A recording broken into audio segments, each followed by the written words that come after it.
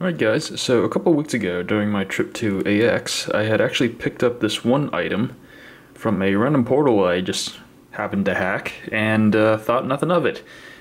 Completely forgot about it until now. Uh, this is a MUFG capsule.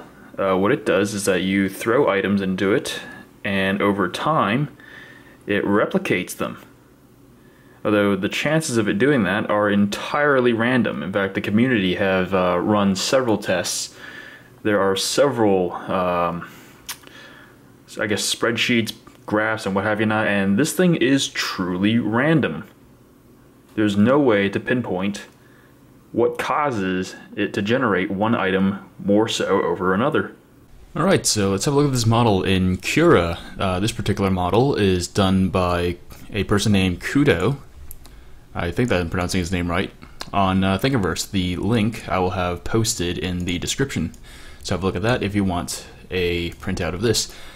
Uh, he's included um, pretty much the lid, the body, everything you'll need to uh, put this whole thing together. He's also included this one extra piece. Uh, the file name for that is uh, Red Capsule 01 slot, and what that is, if we have a look at this, is uh, pretty much the same thing as uh, this lid over here, except it has a little slot in it, and that is for um, coins, pretty much. So you can pretty much use this capsule as uh, as a little piggy bank, a Ingress themed piggy bank. Uh, although for this project I won't be printing this particular piece. I just want it as a uh, just the capsule as a little showpiece. Of course, I might print that at a later date, but for the time being, this is what I'll be printing. Uh, this is I think it's like what 14 pieces. Uh, Cura, I can get I can get it to fit all in one Yo on Cura, but it's unfortunately my printer just doesn't like Cura, so I'm going to use its own software, uh, ReplicatorG. So from there, I'm just to have to create a bunch of files and start printing those out. That and uh, this is probably going to be a very very long print. I mean, just look at this. Cura says 20, uh, no, I can't even read. Cura says 14 hours, but my printer's a bit slower than this setting, so I'm guessing somewhere about 20. Now I did discover that my old camera had a time-lapse function. Uh, unfortunately, it didn't have the battery capacity to actually sit through 17 hours of this thing printing. So instead of getting footage that is from start to finish, I'm just getting bits and pieces of each one of these prints.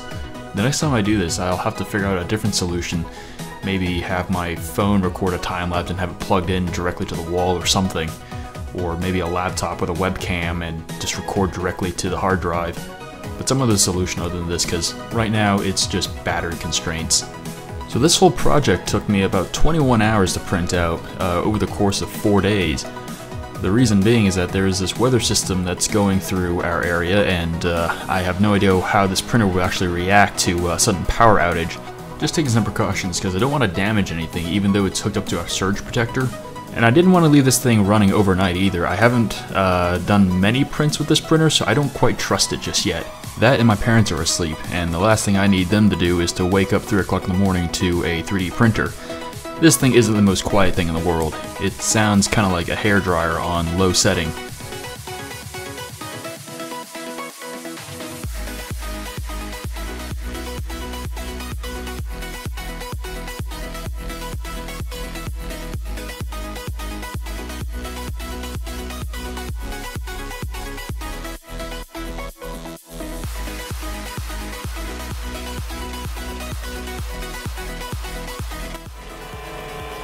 Here's an interesting way of removing your prints. One of these.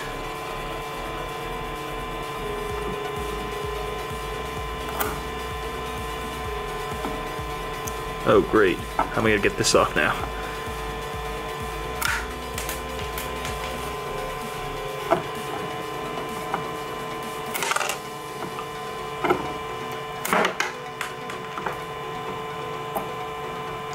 Now I'm going to be stuck with two of these. With a really difficult time of getting off. Great. Alright, so everything's been printed out. This piece took 17 hours. This whole project took about uh, 21 to about 22 hours, somewhere around there. This took about two and a half hours, 17 hours. These three pieces took about, uh, what, hour and a half? And then this took about roughly about the same time, hour, hour and a half-ish. So the only thing left to do now is to assemble this whole thing. And I'm going to do that with a hot glue gun.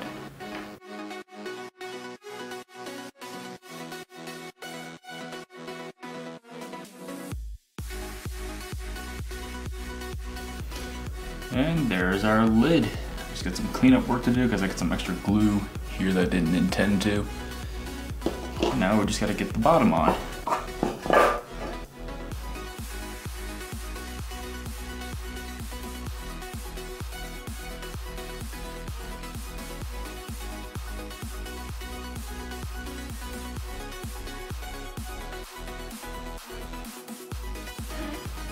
And that is that. Just gotta clean off some excess hot glue.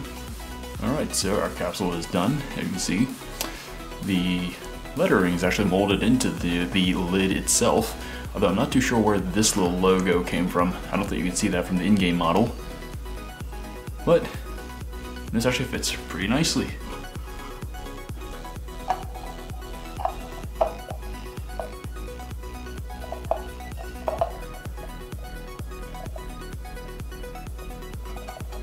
And there.